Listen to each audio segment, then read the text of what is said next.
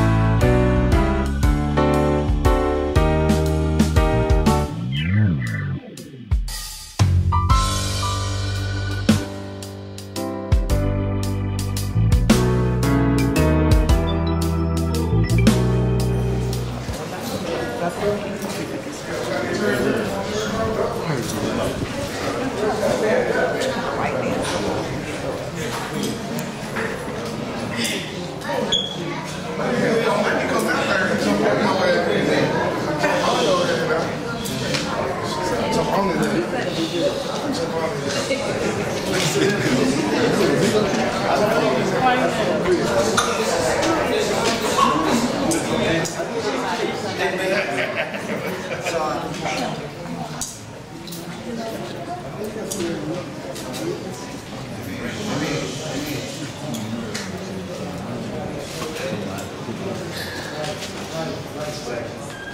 we thank everyone for showing your support to the family today. It says in the book of Job, chapter four, chapter 14, verses 14 and 15, if a man dies, can he live again? Yes. And then Job answers his own rhetorical question. He says, I will wait all the days of my compulsory service until my relief comes. Notice his words. You will call, and I will answer you. You will long for the work of your hands. So Job also was aware of the resurrection. You will call, and I will answer. So we look forward to that day when John Charles will answer the call to come on out from the grave.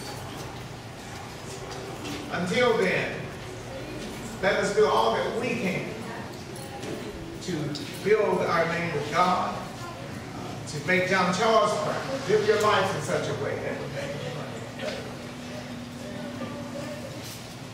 John Charles, as we mentioned, was a loving, caring, and kind person. He never meant any harm to anyone. He had a lot of good qualities.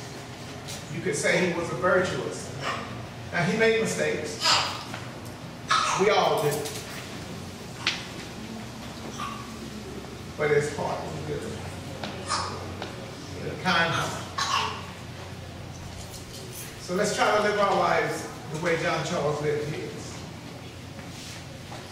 And if you go through life, living in such a way as to live with, leave a good with God, then as the book of Job mentions, you too, if we should fall asleep in death, will one day hear that call to come out. At this time, we will offer a prayer in behalf of the family, in behalf of John Jones.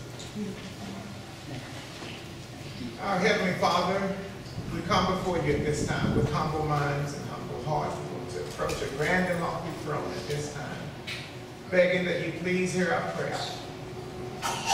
We come to your Father, beg that you please comfort the family, comfort those who are grieving.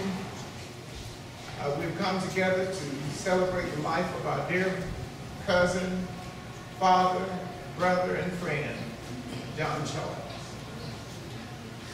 Our Father, we know that you, the Bible says that your eyes are roving about the earth to search for what is good in us.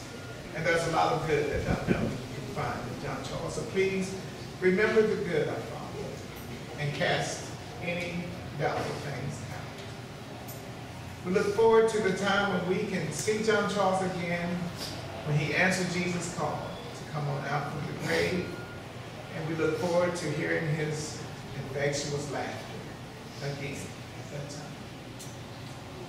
Until then, our Father, we beg that you please continue to be merciful upon each of us. May you please be forgiving toward us.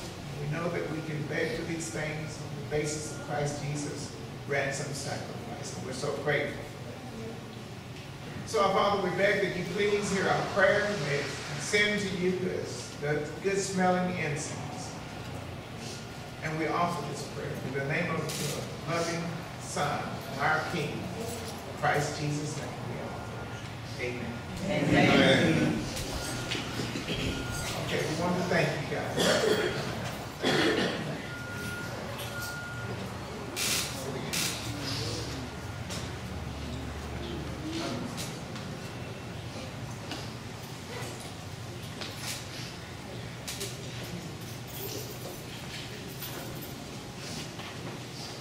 To the Family, the scriptures remind us that earth has no sorrows that heaven can feel. We know that the passing of your loved one is tragic to many of you and saddening to many of you. But we know the one thing that carries us through this is prayer. And when that prayer came, it came by way of pastors and other family friends and relatives. And I pray to give you strength, I pray to give you a comfort, and I pray to give you a peace as you process through this time. And Jarnigan and sons, we thank you for choosing us. We thank you for giving us the privilege and the honor of being able to serve. We hope that we've done everything for you in a kind, caring, Christian, and compassionate way. And we hope we met that need for you. I did not know Mr. Dorsett personally, but I do know that there's memories and there's legacy right here. And however you see fit, keep his memory alive, keep his legacy going. And when we say and sons, only memories remain, let those be beautiful ones, that is said with sincerity. Remember him, however you. That brings the services to a close for Mr. Joseph. If we can get, uh, again, men of the family to join us, in the pallbearers, please, here at the door. Any, any six men that would like to join us, please assist us with this.